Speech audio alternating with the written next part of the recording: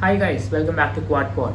So today we are doing an unboxing video and it's the Samsung A32 phone and I've actually shipped it uh, from Amazon. Alright, so we'll just cut this open right through.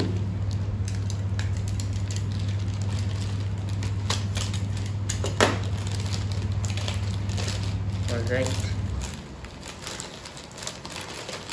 So guys, so this is this Samsung Galaxy A32 phone. I will just you know put that out. And so this is the black color phone that we have here. So I'll just you know this open.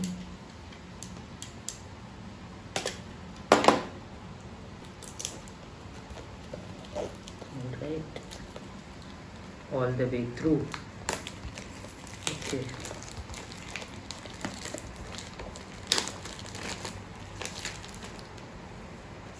So just take a look at this. All right so i'm not much used with uh, you know android phones. So this is kind of tricky for me. Yeah so try to take the seal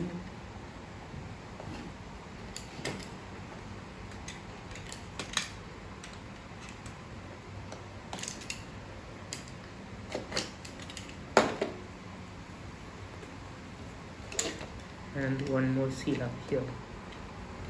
So if the seal is broken do not accept it. Alright so as you can see the Samsung logo here. We can just pull that off.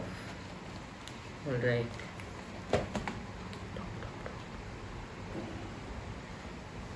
alright so we have a box here. So let me just open this okay so we have a quick start guide. Alright and a cover. That's nice a clear case. Alright so this is something that does not come with apple devices so i literally had no idea since i've never used an android phone before this. And smoothly just take it out and look at this. It looks so good. So we'll just keep this aside for now and then we'll come and we'll get a look at the other part. Alright so we have some accessories here so we have the charging port which is a C type port as I noticed here. Uh, let me just uh, show you. So most Android phones are right now switching to C type ports unlike the you know the olden port that they used to use. Um, and we have the pin here which is you know kind of like a similar pin that is used in uh, Apple devices uh, to change the SIM card of the phone and next we have the power brick. So this is a 240 volt that is 60 hertz uh, 5 0.5 ampere uh, power block. And it's adaptive fast, fast charging which is really good for a phone in this era. Alright so I think yeah that's it. And let's go into the phone. So the phone as we take a look it has three you know very good features that are you know heavily uh, concentrated. That's the infinity u display the quad camera and the on-screen fingerprint.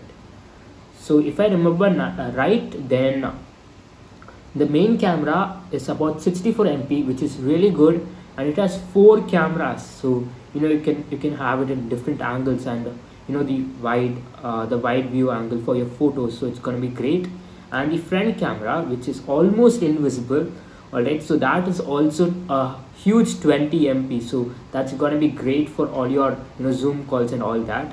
And uh, it has an on-screen fingerprint so that's great. So i think that's the only thing that this phone has to offer. So let's alright. So now i figured this out. How to do this? Alright. And then okay so this is like this and let's switch it on.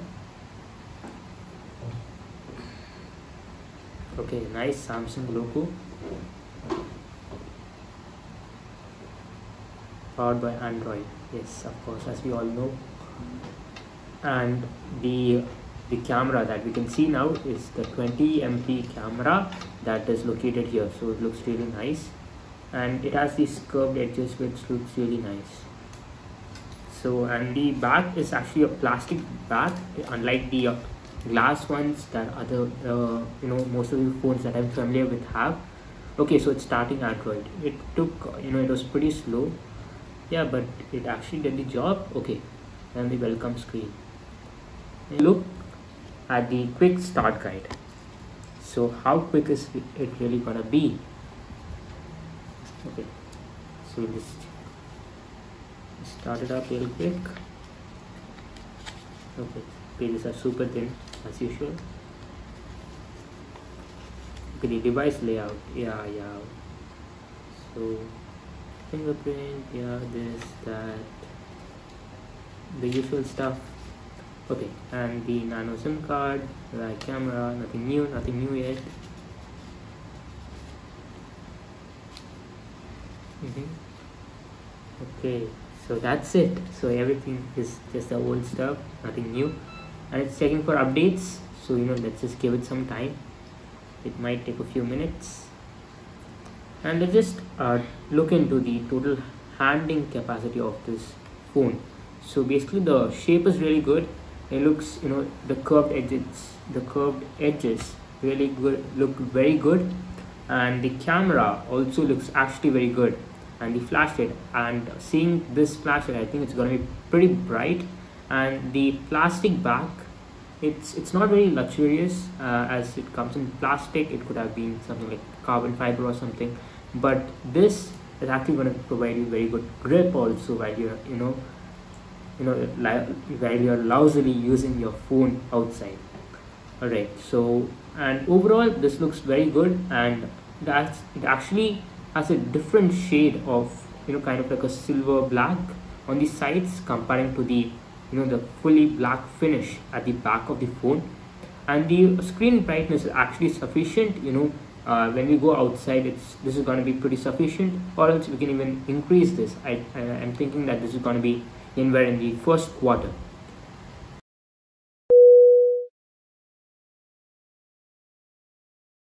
Okay, so that's it. I'm all set up and I just put in finish and the battery didn't last really that long I guess. It, it decreased by nearly 3% I guess in the you know the past few minutes that I've been using it. Alright, so we are directly into the Google Chrome I guess. Alright, so something that I found really interesting is that we can even see the Google Doodles here in Chrome in an Android phone. Well, I don't know if uh, we can actually do that in Chrome even in iPhones because I have been mostly using Safari over Chrome after it got the huge update too. So right now, actually this thing is really good and it has a similar setup to that of iPhone. So I feel it really convenient to use and I'm just gonna check into settings and I'm just gonna check in how to increase the brightness so just to check how much is the maximum brightness I can get in here alright so display and the brightness the max so this is actually pretty bright alright? So this is gonna be enough for you know whatever needs you're gonna have. And I think that this is gonna be you know everything that's sufficient for you. And I don't need this right now so I'm just going to you know put it in adaptive mode and this is going to be just it. And I prefer the dark mode so I'm just you know putting that in and eye comfort shield. So the overall view or my view on this phone is that it's pretty good actually. You know we have so many features you know. This actually comes with a whopping 128 GB of storage and 6 GB RAM. So you're not to have the problem of you know multitasking anymore. So you're gonna have like you know five ten apps in your background and still you can use your mobile with ease. So i think that this is the end of the unboxing and the review and i think that this phone is pretty good. I also know your suggestions in the comments down below and i will see you later next time. Bye